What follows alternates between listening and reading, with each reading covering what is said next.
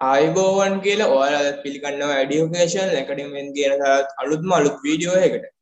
අද මම කියලා දෙන්නේ ඉතිහාසය 10 ශ්‍රේණි ඉතිහාසය දෙවෙනි පාඩම ඉතුරු කොටස. ඒ කියන්නේ ශ්‍රී ලංකා ජනවංශී වීම පාඩම ඉතුරු කොටස. ඒකේ පළවෙනි කොටස මගේ බලලා නැත්නම් මගේ කලින් වීඩියෝ තියෙනවා. මම පළල ලින්ක් එක දාන්නම්. ඒ වීඩියෝ එකට ගිහිල්ලා බලන්න. එහෙනම් අපි දැන් වැඩි කතා නැතුව වීඩියෝ පටන් ගමු.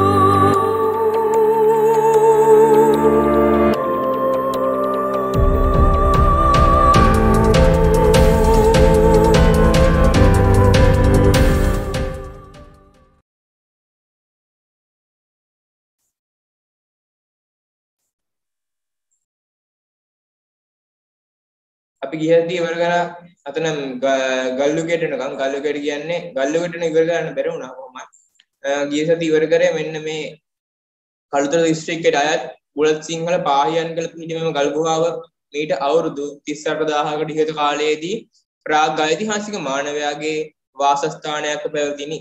පාහියන්ගල් යන ශ්‍රී ලංකාවේ පහතරට කලාපයේ ජීවත් වූ ප්‍රාග් ඓතිහාසික මිනිසුන්ගේ ජීවිතය පිළිබඳ වැදගත් තොරතුරු අනාවරණය කර තිබේ. ඉතින්ට නම් කරගෙන අධ්‍යයන කතා කරන්න මෙන්න මේ කොටස.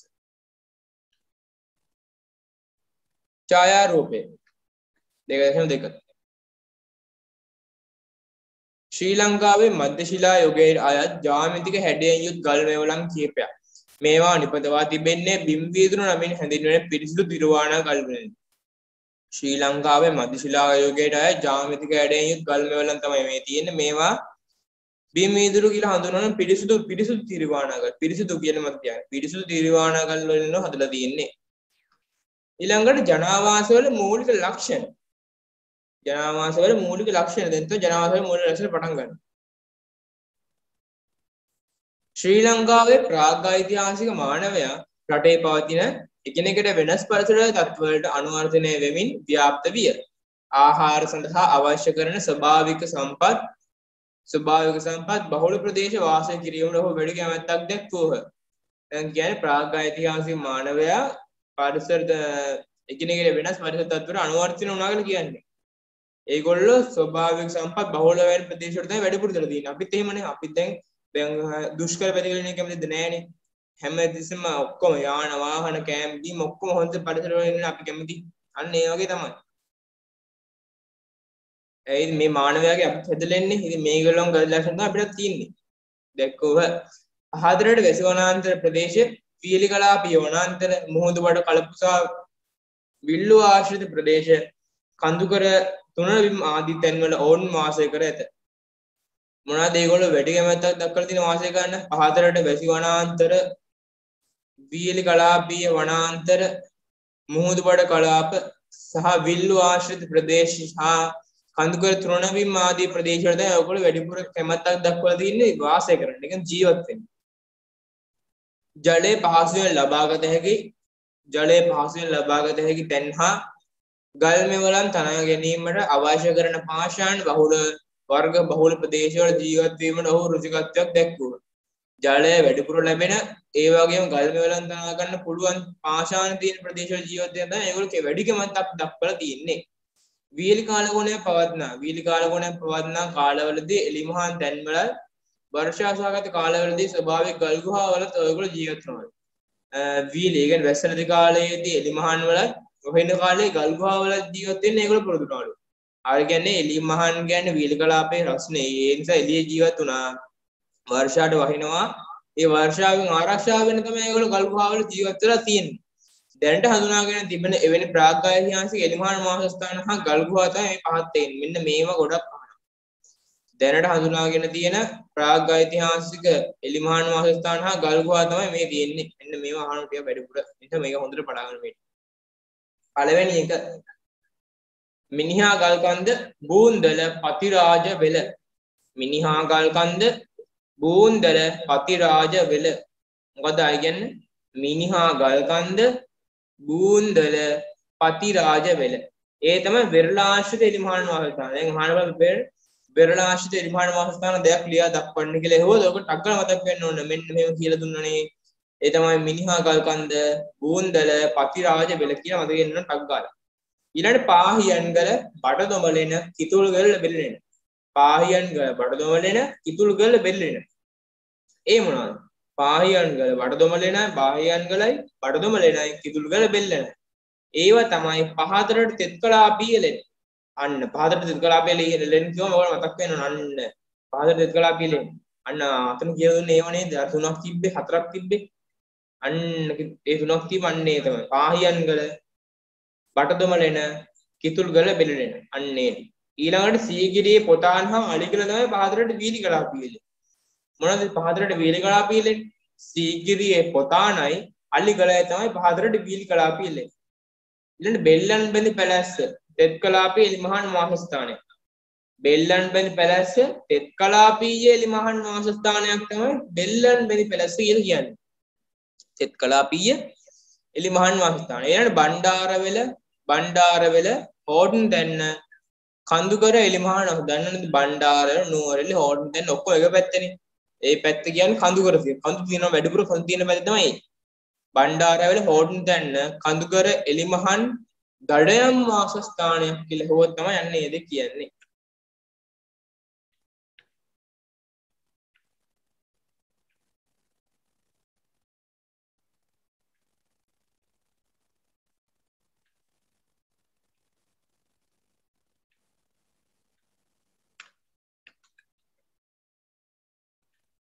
මම මේ කියලා දෙන පැත්ත බලන් ගත වැරදි වගේ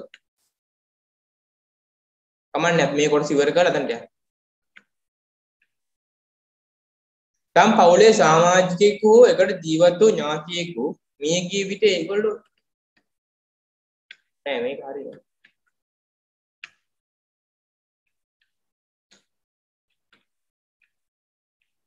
ආ නෑ මේක හරියට. හරි හරි මම පටන් ගන්න කියලා.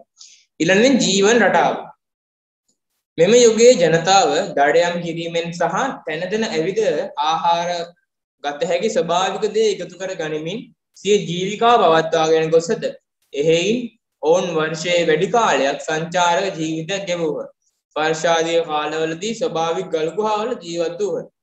මේ යුගයේ ජීවත් වෙන මිනිස්සු දඩයම් කරලායි තැන තැන ඇවිද ගිහිල්ලායි තමයි වර්ෂයේ වැඩිපුර කාලයක් ඒගොල්ලෝ ජීවිකාව ගත කරලා තියෙන්නේ.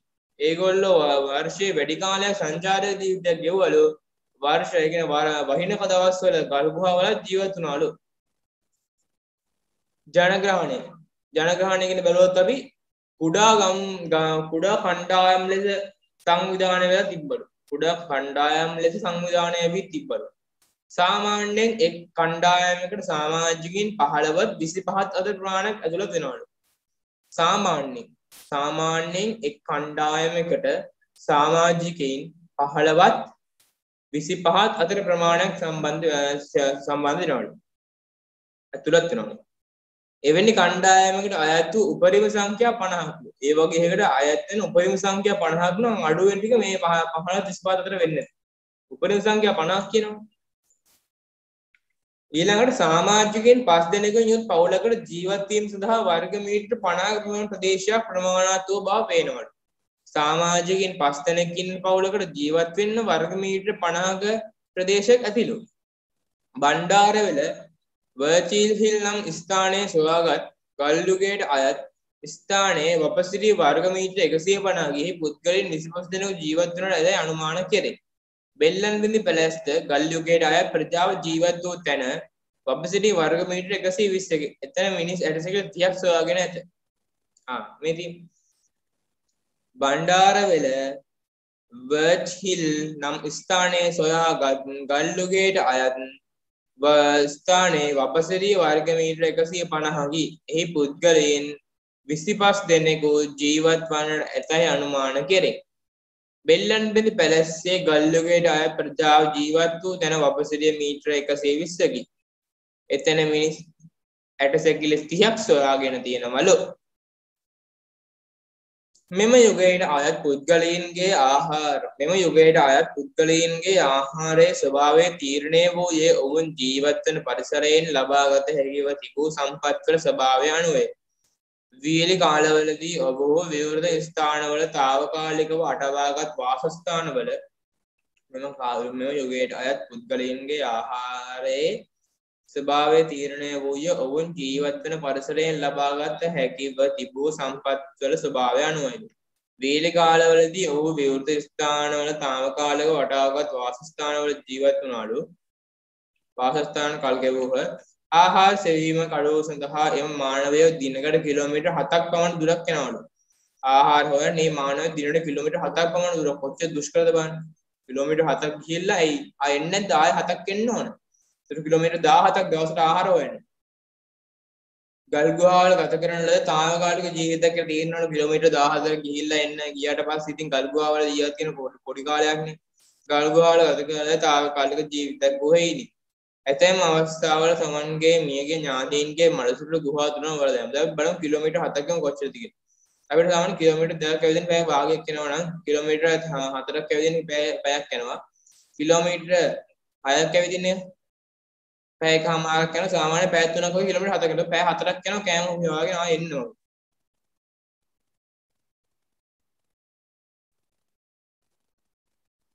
ඇතැම් අවස්ථාවල තමන්ගේ මියගේ ඥාතීන්ගේ මළසිරුළු ගුහා තුනම වල දැම්මලු. ඇතැම් අවස්ථාවල ලී දඬු හෝ අං කැබලේ ආධාරයෙන් ඒ සඳහා වේලං අං කැබලේ ආධාරයෙන් කැබලේ ආධාරයෙන් ඒ සඳහා වලක් හාරා තියෙනවලු. අනතුරු මළසිරු ඒ වලේ තැන්පත් කොට කසල රොඩකින් ඒ වසා දාලා තියෙනවලු. කිතුල් කළ බෙල්ලෙනේ බෙල්ලෙන ඇතුළත එලෙස මිහිදන් කළ පුද්ගලයන් 12 දෙනෙක්ගේ ඇටසැකිලි හම්බ වෙනවා. ඒ කොහෙන්ද? කිතුල්ගල බෙල්ලෙන්නේ. කිතුල්ගල බෙල්ලෙන්න හම්බ වෙන 12 දෙනෙක්ගේ ඇටසැකිලි. විවෘත ස්ථානයක් වූ බෙල්ලන් පෙනි පැලැස්සේ ගල්ලුගේට අයත් සොහොන් බිමෙහි ඇටසැකිලි 30ක් තියෙනවා. විවෘත ස්ථානයක් වෙයි බෙල්ලන් පෙනි පැලැස්සේ ගල්ලුගේට අයත් සොහොන් බිමේ ඇටසැකිලි 30ක් තියෙනවා. පාහියන්ගල් ගුහාවෙන් අවධි කිහිපයකට අයත් පුද්ගලයන් 9 දෙනෙක් ඇටසැකිලි හම්බ වෙලා තියෙනවා පාහියන්ගල් ගුහාවේ.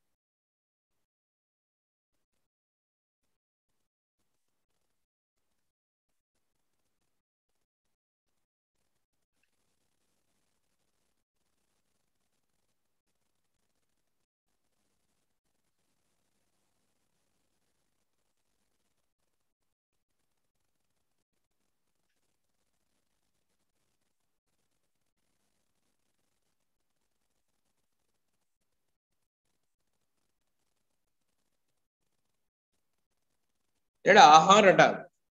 ඊළඟ අපි ආහාර රටාව ගැන බැලුවොත් මෙරට ගල්ලුගේ විසූ මිනිසුන්ගේ ආහාර කෙමුදු වී දේ අවබෝධ කර ගැනීමට ඉවහල් වන වැඩිමනක් සාධක ලැබෙන්නේ පහතරට වීලි කලාපේ සහ තෙත් කලාපේ පිහිටි ගල් ගුහාවලින්. මේ මේ පහ මෙම ගල්ලුගේට මිනිස්සුන්ගේ ආහාර පිළිබඳ සාධක වැඩිපුර අපිට හම්බෙන්නේ පහතරට වියලි කලාපයෙන් හා තෙත් කලාපේ ගල් ගුහාවලින්. දැනට සොයාගෙන තිබෙන සාක්ෂි අනුව ආහාර සඳහා දඩයම් කළ සතුන් අතර ගවයා කුළුමී හරකා කළුවලහා වල්ලූරා ගෝනා තිත්මුවා මීමින්නා ඉත්තෑවා හාවා දඩුලේනා හම්බාවා මුගටියා උරුලෑවා වන්දුරා වල්ලි කුකුලා හබන් කුකුලා හා තලකොයාද වෙනවලු. මොනවද සත්තු? ගවයා කුළුමී හරකා කළුවලහා වල්ලූරා ගෝනා තිත්මුවා මීමින්නා ඉත්තෑවා හාවා දුරුලේනා හම්බාවා මුගටියා ඔරුලෑවා වඳුරා වල්ලි කුකුලා හබන් කුකුලා හා තලකොයාද වේ මාස් ජනක ධාතු මාස් ජනක ධාතු බහුලව මිරදිය මාළු වර්ගද මේගොල්ලෝ ආහාර අල්ලගෙන ආහාරයට ගන්න තියෙනවා මාස් ජනක ධාතු බහුල. පහතරට සෙත් කලාපයේ තිබෙන ස්වභාවික දිය කඩිති වල සිටින තිත්තයින් ආදී මසුන් මෙසේ අල්ලාගත් බව පේනවලු. පහතරට තෙත් කලාපයේ තිබෙන ස්වභාවික දී කඩිති වලින් තිත්තෙන් වැනි මසුන් අල්ලාගත් බව පේනවලු. පිෂ්ඨය ලබා ගැනීම සඳහා පිෂ්ඨය ලබා ගැනීමට භාවිතා කළ ශාක ආහාර අතර වල්දෙල් වල්දෙල් හා කැලෑකොස් ප්‍රධාන වෙනවලු. පිෂ්ඨය ලබා ගැනීමට භාවිතා කළ ආහාර අතර වල්දෙල් හා කැලෑකොස් ප්‍රධාන වෙනවලු කිතුල් කළ වෙල්ලෙන් වසර 12500කට ඉහත කාල වකනාවකදී පුලුස්ස ආහාරයට ගන්නාද කෑල කැලෑදෙල්ලට පිළිබඳ සාක්ෂි හමු වෙනවලු. පිෂ්ඨය ලබා ගැනීම පිෂ්ඨය ලබා ගැනීමට භාවිතා කළ ශාකාහාර අතර වල්දෙල් හා කැලෑ කෙසෙල් ප්‍රධානය. කිතුල්ගල බෙල්ලෙන් වසර 12500කට ඉහත කාල වකවානුවකදී පුලුස්සා ආහාරයට ගන්නා ලද කැලෑදෙල්ලට පිළිබඳ සාක්ෂි හමු වෙනවලු. මීට අමතරව පිෂ්ඨයේ බහුල ආහාර ලෙස මීට අමතරව පෘෂ්ඨය බහුල ආහාර ලෙස ගෝනල සහ පටුවල අනුභව කර තියනවලු. ආහාර පුළුස්සා අනුභව කළ සාක්ෂි පරීක්ෂා කළ තැන් කිහිපයකින් කිහිපයකින් බෙල්ලන් කිහිපයකින් ආහා සාක්ෂි පරීක්ෂා කළ තැන් කිහිපයකින්ම සොයාගත්තලු ගොළුබෙල්ලන් ආහාරයට ගැනීමට ප්‍රාග් ඓතිහාසික වැසිය මහා සෘජුකත්වයක් දැක්වූහ. මේ තියෙන්නේ ශ්‍රී ලංකාවේ ප්‍රාග් ඓතිහාසික ජනාවාස සොයා ගන්න පපළුවක්. මේ සතිකකුවේ අස්තික බල්ලකින් සකස් කරලා තියෙන. බලන්න හොඳට තියෙනවනේ. ලස්සනට ඒක නීට් එකට අපි කියන්නේ සාමාන්‍යයෙන් පෙනුමෙන් ලස්සනට තියෙනවා. ප්‍රාග් ඓතිහාසික වැසිය ගොළුබෙල්ලන් ගන්න සෘජුකත්වයක් දැක්වුවලු. විශේෂයෙන්ම පහතට තෙත් කලාපේ ජීවත් වන ගස්කොළු බෙල්ලන් හා කලපොළ ජීවත් වන බෙල්ලන් මෙසේ ආහාර සඳහා යොදාගත්තලු. සිය ආහාර සඳහා අවශ්‍ය කරන ලුණු ලබා ගැනීමට රට ඇතුළත ජීවත් වූ ප්‍රාග් ඓතිහාසික වැසියෝ ඉතා දුර බැහැර ගමන් කළාය. කිතුල්ගල වෙල්ලෙන් සොයා ගන්නා ලද කලවු බෙල්ලන්ගේ අවශේෂ මුහුදුබඩ ප්‍රදේශවලින් හඳුනාගෙන ආ ලුණු සමග මිශ්‍ර වී පැවති බව හඳුනාගත්තලු. තාක්ෂණයකින් කතා කරොත් මේ යුගයට අයත් මේ යුගයට අයත් තාක්ෂණය ගැන මේ යුගයට අයත් තාක්ෂණය ගැන දැන ගැනීමට තිබෙන එකම සාධකය ගල් මෙවන. ඔව් ඉතින් ගල්ලුගේ තාක්ෂණය ගැන ඉතින් ගල්ලුගේ ගල් මෙවනනේ තාක්ෂණය ඉතින්. එහෙත් රත්නපුරේ මැණික් පතල් වල සහ ඉරණවඩු සැකැස්ම සොයාගෙන තිබෙන ගල් මෙවලම් ආශ්‍රයෙන් ගල්ලුගේට අයත් තාක්ෂණය ගැන සම්පූර්ණ හොයාගන්න බැරිලු. මැණික්පත් රත්නපුරේ මැණික්පතල් හා ඉරණමඩු සැකස්මෙන් හඳුනාගෙන තියෙන සාක්ෂිවලින් ඔක්කොම ඇලුවත් ඒ ඔක්කොගෙම ගල්ලුගෙඩ සාක්ෂි හඳුනා ගන්න අපහසුයිලු. ඊට හේතුව තමයි ප්‍රමාණවත් ගල් බලම් ප්‍රමාණයක් ලැබෙන්නේ නැතුළු. ඒ වායේ දින වකවාන පිළිබඳ දැන තියෙන දැනුමත් මදිලු කියලා තමයි ඒගොල්ලෝ කියන්නේ. මෙරට ගල්ලුගේ තාක්ෂණය පිළිබඳ විස්තරාත්මක දැනුමක් ලබා ගැනීමට ඉවහල් වන්නේ පුරාවිද්‍යාඥයින් විසින් ජාමිතික ශුද්‍ර ශිලාවලම් හඳුන් යනුවෙන් හඳුන්වනු ලබන කුඩා ප්‍රමාණයේ ගල්. මෙරට ගල්ලුගේ තාක්ෂණය පිළිබඳ වඩා විස්තරාත්මක දැනුමක් ලබා ගන්න අපිට ඉවහල් වන පුරාවිද්‍යාවේ හඳුන්වන ජාමිතික ශුද්ධ ගල් මෙවලම් හඳුන්වන ඉතා කුඩා ප්‍රමාණයේ ගල් ගල් මෙවලම්ලු ශ්‍රී ලංකාවේ ප්‍රාග් ඓතිහාසිකය නියෝජනය කරමින් මිනිස් ඇටසැකිලි සොයා ගන්නා ලද්දේ සීගරයට යාබද පිහිටි පොතාන ගල් ගුහාවල මෙතන ඒවා මේවා එසේ නම් කරලා තිබෙන්නේ ඒක සුද්ධ කර්මවලම් කියලා නම් කරලා තියෙන්නේ ඒවා නිෂ්පාදනය කරන්නට වෑයම් කරන පුද්ගලයන් එකී ගල්මෙවලම් වලට ජාමිතික හැඩයක් ලබා දීමේ අරමුණින් ගල්පත්තුරු හැඩගස්වාගෙන තිබෙන නිසාලු. මෙන්න සුද්ධ ගල්මෙවලම් කියලා හඳුන්වන ඒක පුද්ගල ඒක නිර්මාණය කරන වෑයම් කළ පුද්ගලයන් මේ ගල් ගල්මෙවලම් වලට ජාමිතික හැඩයක් ලබා දීම අරමුණින් ගල්පත්තුරු හැඩගස්වා තිබෙන නිසාලු. මෙවැනි මෙවලමක් දිගින් සෙන්ටිමීටර් 4.5කට වඩා විශාල වෙන්නේ නැහැ. මේ වගේ මෙවලම දිගින් සෙන්ටිමීටර් 4.5කට වඩා ලොකු වෙන්නේ නැහැ කියලා කියන්නේ.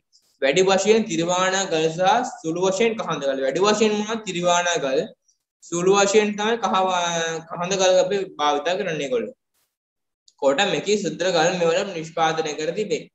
මේවා සතුන් දඩයම් කරන්නයි කැපීම් සීරීම් තැලීම් හැරීම් වෙන මොනවටද කැපීම් සීරීම් තැලීම් හැරීම් සිට කැපීම් සීරීම් දැලීම් හැරීම් වෙන දේට උචිත පරිදි සකසා තියෙනවලු. මේවා මීට අමතරව කළුගල් වායුදා කොට තනන ලද මිටි ඇඹරුම් ගල් ආදී දේ ආදීද එකල නිෂ්පාදනය කරලා තියෙනවා. දැක්කද ඒගොල්ලෝ කොච්චර ඒගොල්ලෝ දාක්ෂණ දියුණුවද කියලා ඒගොල්ලෝ. ඊළඟ මිනිස්සුන්ගේ ශරීර ස්වභාවය. මෙතෙක් සොයාගෙන තිබෙන ඇටසැකිලි ශ්‍රී ලංකාවේ ගල්ලුගේ රාය මිනිස්සුන්ගේ ශරීරය කෙමද වීදේ කාරණා අවබෝධ කරගන්න. ඇටසැකිලි වලින් ගල්ලුගේ මිනිස්සුන්ගේ ශරීරය කොහොමද කියලා හඳුනගන්න පුළුවන් වෙනවලු. සාමාන්‍යයෙන් වැඩුණු පිරිමියෙකුගේ උස සෙන්ටිමීටර් 174යි. සාමාන්‍යයෙන් වැඩුණු පිරිමියෙකුගේ උස සෙන්ටිමීටර් 174යි. වැඩුණු කාන්තාවකගේ උස සෙන්ටිමීටර් 164ට වඩා උස් වෙන්නේ නැල්ලු. ඔවුන් සියදෙනාගේ දත් විශාලයි පළල් නාසයක් සහ නිකටක් ඔවුන්ට තියෙනවලු. වැඩිහිටි පිරිමියෙකුගේ මොළයේ විශාලත්වය ඝන සෙන්ටිමීටර 1600යි. වැඩිහිටි පිරිමියෙකුගේ මොළයේ ස්කන්ධය මොළයේ විශාලත්වය මොළයේ විශාලත්වය ඝන සෙන්ටිමීටර 1600ක්ලු. වැඩිණු ගැහැණු අයෙකුගේ ඒ ඝන සෙන්ටිමීටර 920ක්. මානව විද්‍යාඥයින් අදහස අනුව ප්‍රාග්ආයිතිහාසික මානවයාගේ උපරිම ආයු කාලය වසර 30ත් 40ක් පමණ වෙනවා කියලා කියන්නේ. ඉතින් පොඩි කාලයක් යන්නේ හද වෙන්නේ නැතයි සිතල කියන්නේ. අභිචාර විදි තමයි ඊළඟට. ඒ කියන්නේ ඒගොල්ලෝගේ ඒගොල්ලෝගේ මැදිච්චම දේහ ආදාහනය කරන විදිහ ඒවට අපි අපි කරනවද අපි කරන විදිහට ඒගොල්ලෝ කරනවද ඒගොල්ලෝ මොනවද ක්‍රම තියෙන්නේ ඒ වගේ තමයි තියෙන්නේ. ගල් යුගයේ පැවති අභිචාර විදි ගැන යම් තරමකට හෝ පැහැදිලි තොරතුරක් ලැබෙන්නේ ඒ කාලයට අයත් මිනී වැළලීම් සම්බන්ධයෙන්. වැඩි ආයාසයේදී එවැනි කටයුත්තක දැරු උත්සාහය පිළිමුවන පැහැදිලි අවස්ථාව බදුල්ලට නුදුරු රාවණ වැල්ල ගල් ගුහාවෙන් සොයාගෙන තිබේ. අභිචාර විදි ගැන ඉතින් අපිට හොයාගන්න තියෙන්නේ යම්තර පැහැදිලි කිරීමක් ලැබෙන්නේ ඒ කාලේට මිනි වැල්ලෙන් සම්බන්ධයෙන් ඉතින් ඔව් ඒක දන්නවනේ අපි. තිබේ. ගල් ගුහාවෙන් සොයාගෙන තිබේ. දෙකට බෙදෙනසේ සිදුරු විදුලද මිනිස් කවලා දෙකට බෙදෙන විදිහට සිදුරු විදුල තියෙන මිනිස් කබලක් එහි කළ ගැනීමෙන් මත වුණාලු. එම හිස් කබලේ හළුවට පීඩා තිබුණු දාර පිටතට නෙරා තිබෙන කොටස් ගලක උල මට්ටම් කරලා තිබ්බලු. රතු පැහැති ගුරුගල් ආලේප කරලා තිබ්බලු. රතු පැහැති ගුරුගල් ආලේප කරලාද මිනිස් ඇටසැකිලි වලට අයත් කොටස් පාහියන් ගල ගල් ගුහාවෙන් සොයාගත්තලු. මල්ලි සිරුරු එහි කොටස් දිරායන තුරුම යම් ස්ථැනක වල දාලා පසුව ඇටසැකිලි ගොඩගෙන නැවත ඒවා තැන්පත් කර බව මේ මලසිල්ලු දිරායනක තව එක තැනක වලදාලා ඒ පස්සේ ඒවා ආයි ගොඩ අරගෙන නැවත තැන්පත් කරලා ආපහු වලදාලා කියන මේ කියන්නේ. පුරුවිට බඩදොමඩ එන සොයාගත් ඇටසැකිලි නමා වකුඩු කර බලලා තිබ්බන.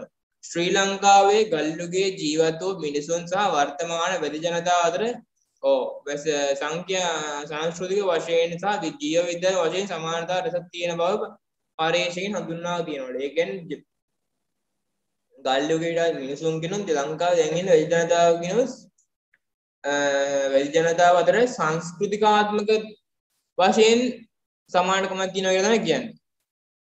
ඒගොල්ලෝ ඒගොල්ලෝ හැසිරීම් ක්‍රියාකලාපයේ අත්මින් තමයි කියන්නේ.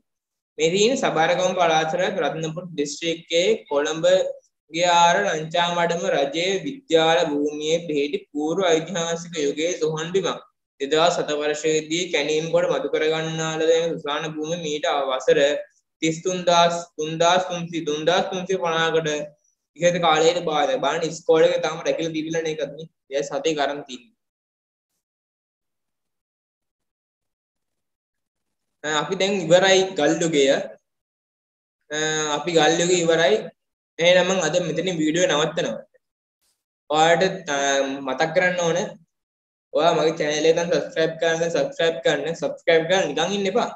ඔතන bell icon එකේ තියෙන bell icon එක click කරලා එතන all කියන එක දෙන්න. එතකොට තමයි මම අලුත් වීඩියෝ එකක් දැම්ම ඔයගොල්ලන්ට දැනගන්න පුළුවන් වෙන්නේ. ඊට like එකක් දාන්න. ඔය නිකන් තියෙන like button එක නෑනේ. ඔක ඔබලා දාන්න මොකද්ද වෙන්නේ? like එකක් දාන්න comment එකක් දාන්න. මම මේ පාඩම් කියලා හොඳයි. එතෙන් තාම මොනවා හරි අපි නම් වැඩි දියුණු කරගන්න ඕනද කියලා කමෙන්ට් එකක් දාන්න. එහෙනම් හැමෝම පරිස්සමෙන් ඉන්න. දැන් මේ කොරෝනාත් හොඳට වැඩි. එහෙනම් හැමෝටම පරිස්සමෙන් ඉන්න. බුස්සරණයි. God bless you.